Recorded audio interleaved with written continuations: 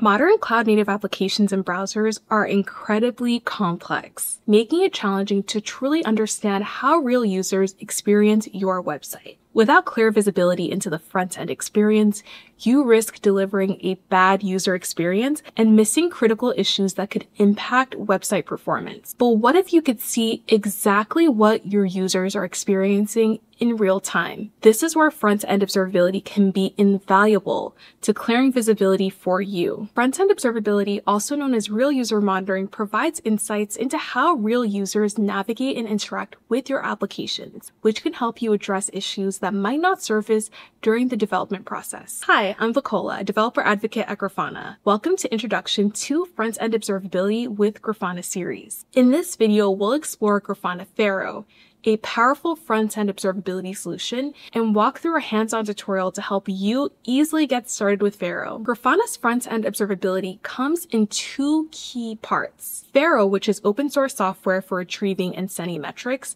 and front-end observability, which is only available in Grafana Cloud and is Grafana's fully managed solution for real user monitoring. In this video, we'll focus exclusively on Faro, but make sure to check out the next video in this series to learn more about front-end observability.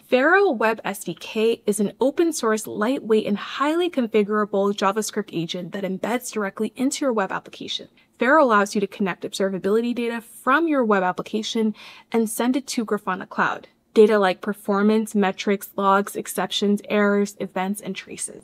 With this data, you gain end-to-end visibility into how real users interact with your application, which helps you catch issues before they impact the user experience. Then users have two options. Open source users can use signals via the data collected by Faro, which is sent to Grafana Alloy and can be integrated seamlessly with Grafana's LGTM stack. This provides a seamless full stack observability solution that is completely open source. Or users can use our fully managed solution, Grafana Cloud Front-End Observability Solution. The data collected by Faro is sent to a hosted endpoint in Grafana Cloud, and then users get automatic out-of-the-box dashboard. Faro supports all web applications running in the browser. Now that you understand what Faro is and how it can help you, let's walk through a tutorial for how to instrumentalize our JavaScript application with Faro. We will be using QuickPizza. This is a demo web application that allows users to generate new and exciting pizza combinations. You can get access to this application through the link in the description box. There are a few ways to instrument Faro, but this is the best way to do it if you are a Grafana Cloud user. We'll start by creating an application in Grafana Cloud. Sign into your Grafana Cloud instance. On the home page, visit the left navigation panel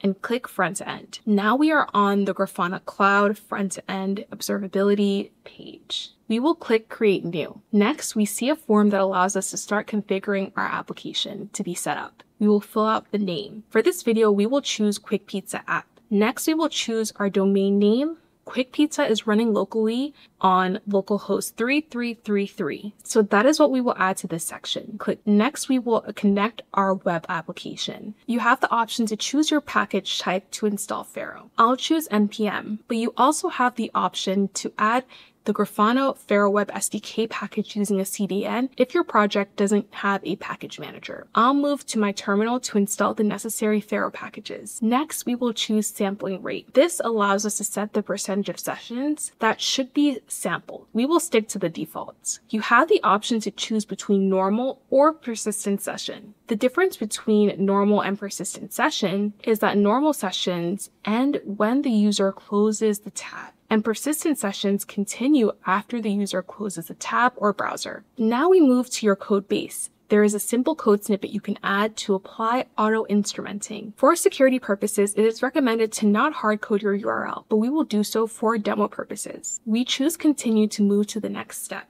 The third section is upload source map. This is entirely optional, but it will enable you to see the original source code of the error in the front-end observability application. Now we will choose completes. As you can see, when we reload QuickPizza, our Grafana dashboard page load metric increases, which indicates that the Faro connection is working correctly. Not only do you have page load, but we also get important web vital metrics like TTFB, time to first byte, FCP, first contentful paint, and other metrics. There you have it You now know about Faro and how to instrument your JavaScript applications with Faro. If you want to learn more about Faro, make sure to visit grafana.com slash OSS slash Faro and make sure to tap the subscribe button to learn more about Grafana's front-end observability solutions.